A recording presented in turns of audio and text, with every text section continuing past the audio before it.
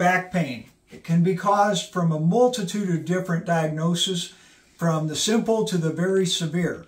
However, if it's starting in your lower back and radiating down one of your legs and even into the foot, it sure could be sciatica.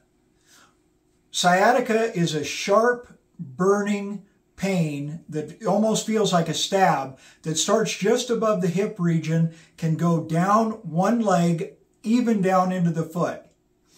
What it's caused from, it can is compression of the sciatic nerve. What commonly happens with that is you're getting a situation where you have either degenerative joint disease or a ruptured or a herniated disc in your back.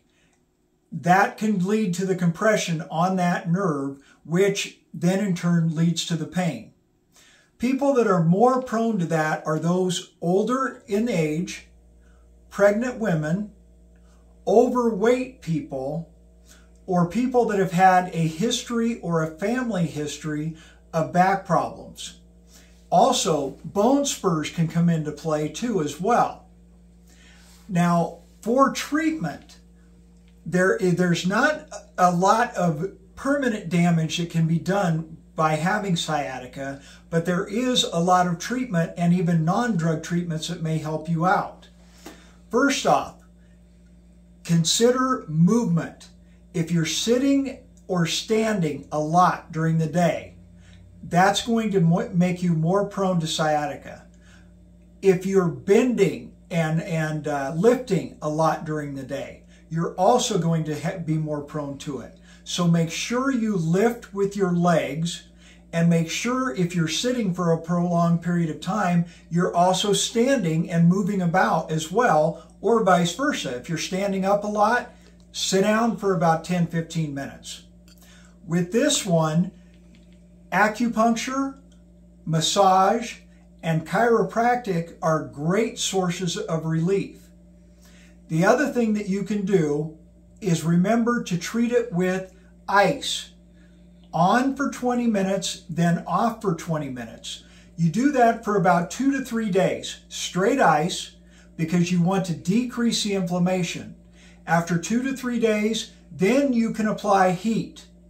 On for 20 minutes, off for 20 minutes. But you need to do the ice first you need to remember, you need to make sure you stretch out every day before you go to work, especially if you're doing strenuous activities.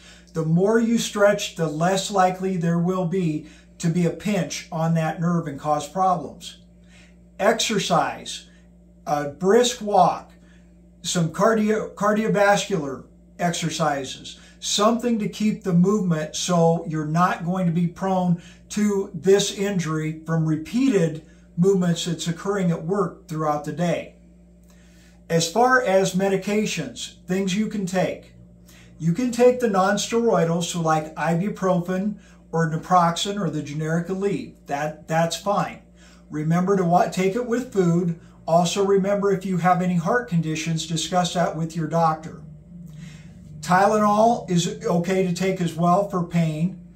If you have more than that, consider talking to your doctor. They do treat these with tricyclic antidepressants such as nortriptyline or amitriptyline. Remember, with either of those drugs, they can really dry out your mouth, your nose, your eyes, and your gut. So drink a lot of water. They can make you dizzy or drowsy, and you can have trouble with alcohol, so watch out for that. They all, it also can be treated with gabapentin, which again can make you drowsy, watch out with alcohol. If it's really painful, you may get a burst of steroid or prednisone orally, or they can do injections as well. Some other tips to consider. If you have a soft mattress, change it. A hard, firm mattress is the best to prevent sciatica. Sciatica generally will last about four to six weeks. As you're doing the things that I mentioned before on a daily basis, it should go away.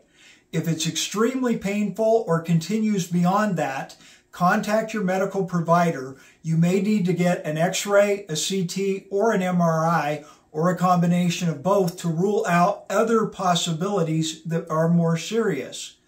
So you want to make sure you're in contact with your provider to get that done. The other last option would be surgery. They can do surgery to repair herniated discs as well as to relieve pinches on that nerve that may be just a congenital anomaly from when you were born, being born that way. Physical therapy is another good option once the sciatica goes away. When you're having that flare up, you're not going to want to go to any physical therapist because it's going to hurt. But as the sciatica goes away, you're getting back to your normal life, able to move around a little better. Definitely consider physical therapy. They're a great prevention from future episodes.